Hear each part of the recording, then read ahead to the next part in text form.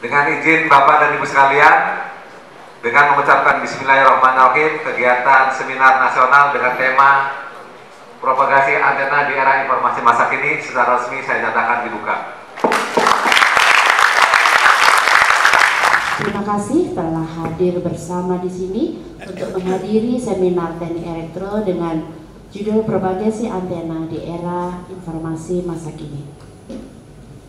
Pada kesempatan staf yang terkait dengan bidang uh, teknik telekomunikasi. Di dalam teknik elektro, kami mempunyai dua program studi, yaitu program studi teknik elektro dan program studi uh, teknik komputer. Program studi teknik elektro mempunyai beberapa peminatan, salah satunya adalah peminatan telekomunikasi. Dan saya sebagai ketua kelompok peminatan telekomunikasi, ini semua ada 10 orang yang ada di bawah uh, peminatan kelompok telekomunikasi sistem dari propagasi dan antena tadi di era informasi ini juga masih diperlukan. Gitu kan. Nah, kita lihat dulu adalah uh, ini adalah satu pohon sistem radio ya. Udah lebih 100 tahun sebetulnya ya. sudah ditemukannya bersamaan Maxwell ya.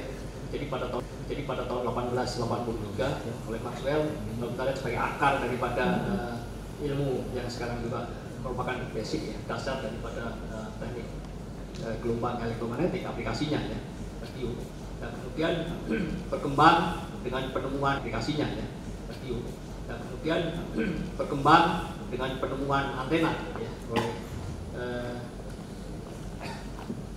siapa uh, Hertz ya. Hertz kemudian juga uh, Marconi ya. Perkembangan dari pohon ini uh, berkembang menjadi dahan dan ranting semua ini juga menunjukkan era uh, informasi. Ya ada handphone di sini terutama ya ada handphone ada perangkat-perangkat uh, untuk biomedik misalnya ya. Kemudian untuk uh,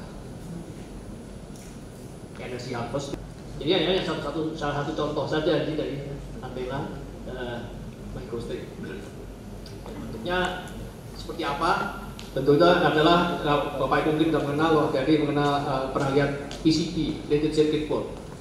Sebetulnya terbuat dari semacam itu bahannya untuk dual band Artinya aplikasi antena tidak hanya untuk satu band saja. Kita bisa menggunakan antena untuk eh, katakanlah satunya WiFi, satunya di WLAN, satunya mungkin juga di GSM, satunya di antena eh, untuk aplikasi yang lain gitu. Nah, tapi kemudian eh, tapi ke depan juga tentunya masih banyak hal yang eh, bisa dilakukan dengan eh, bahan ini. Jadi uh, saya akan sampaikan mengenai introduction, apa mengenai terakhir, bagaimana kondisi terkini, kemudian dilanjutkan mengenai bagaimana uh, kita ketika kita mendevelop sebuah antena planar. Antena planar mungkin ketika di microwave ini mirip dengan kondisi antena microstrip. Jadi ketika dengan sebuah bidang planar kita mencetak sebuah antena silicon lens antena.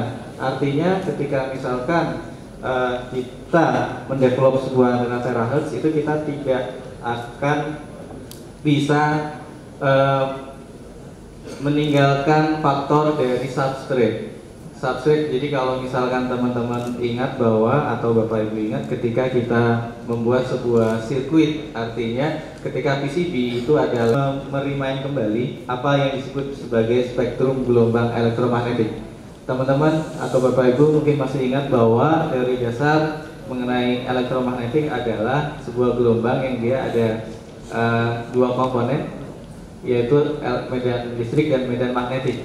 Ketika komponen tersebut membentuk sebuah gelombang mungkin secara teknik